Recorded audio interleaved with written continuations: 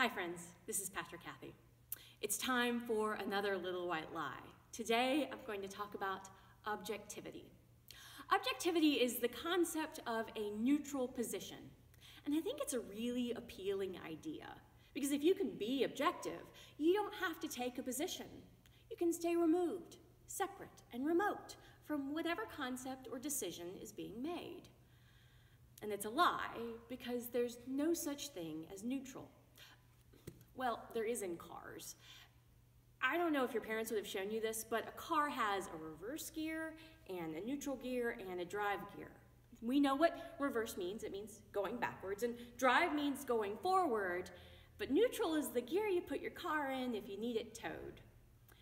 You put your car in neutral when, for instance, you drive your car down a mountain in a rainstorm at midnight and find yourself 100 yards down a muddy tractor trail and need help getting back up the mountain the next morning. Just a, for instance. And I put my car in neutral so that the towing machine could pull my car back up the hill to the road. Or you put your, you, you go to one of those hills that has mysterious incline and you put your car in neutral and it creeps in strange ways, seemingly away from gravity. But neutral is always going to go towards power or align with power. And that can feel safe. Because those with power will do everything in their power to tell you that the only good place is to align or side with them. But is that true? Or is that just what they want you to think?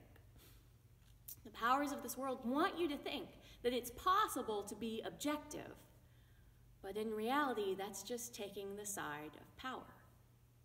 Archbishop Desmond Tutu said that if you are neutral in situations of injustice, you have chosen the side of the oppressor. If an elephant has its foot on the tail of a mouse and you say that you are neutral, the mouse will not appreciate your neutrality. So we have something that can help us recognize objectivity as a lie. It's our feelings.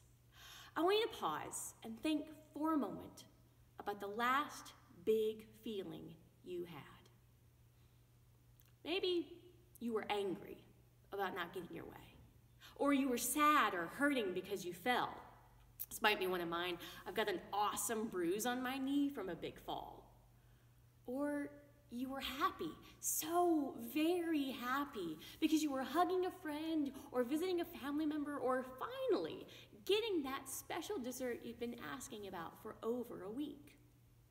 Or you were frustrated because there was a complicated math problem or an unfamiliar word in your reading list that you just couldn't comprehend.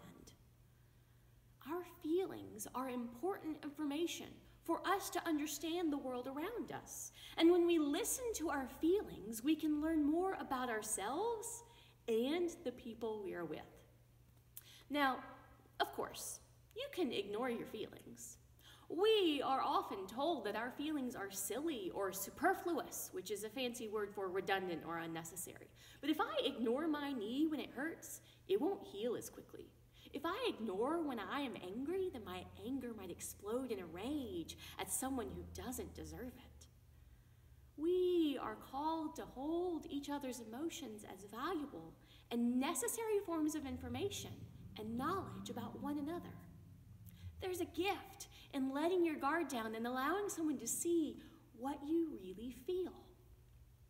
We can find big emotions in the Bible. Psalm 6 says, I'm worn out from groaning.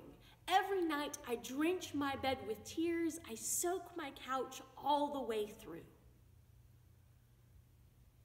We are always making decisions through the way that we see the world. And this is part of how we understand everything around us the way we feel, what we've learned, where we've grown up, what we've been taught, how close or far from power we are. All these things influence what we think, which is why objectivity is one of our little white lies. Remember, your emotions are a gift from God. God feels with you. Peace be with y'all. Goodbye.